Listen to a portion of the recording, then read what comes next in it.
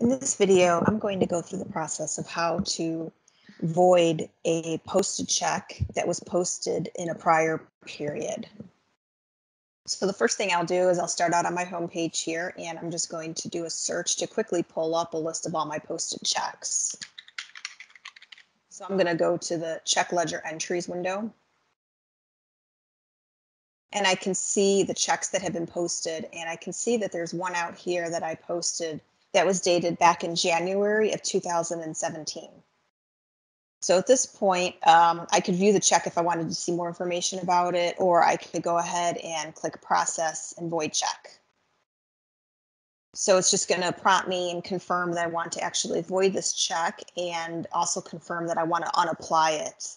So in this case, I do want to unapply that check since it was applied to a payables invoice. And then there's a couple other details down here. It'll show you just the amount and the check number and the checkbook that was used. So I'll answer yes here.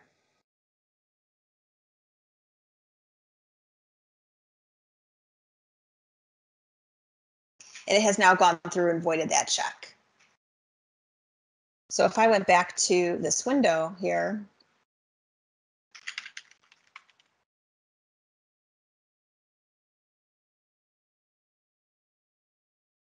I can now see that this check has been voided. I can also see that if I wanted to look at the bank account. So if I was under cash management and I went to the bank account, in this case, I was using the checking bank account and then I'll just pull up this link here to look at my balance. Um, and it'll just show me all the entries that made up that, that checkbook account balance here.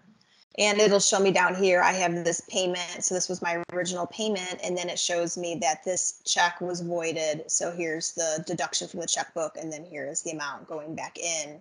And then in this case, I left all my dates as the default. So my posting date was 1 1 2017. I could also have changed and updated that posting date during the void process if I wanted it to actually post uh, the void on a different date.